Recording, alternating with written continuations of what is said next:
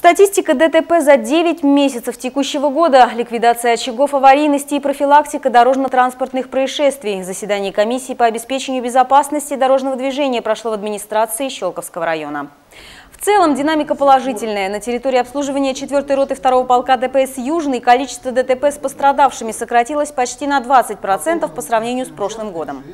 В том году было э, 92 происшествия, в этом году 70 было. Число погибших снизилось на 38,9%, 11 на 18. Раненых на 11% меньше. 96 на 108. Количество происшествий, где пострадали дети, снизилось почти наполовину. Основной вид аварий – столкновение из-за несоответствия скорости движения автомобиля конкретным погодным условиям. Также на заседании комиссии озвучили статистику аварийности на территории обслуживания Щелковского ГИБДД. Погибло 12 человек, в прошлом году также 12 человек. Детей 0 погибших, в прошлом году также 0.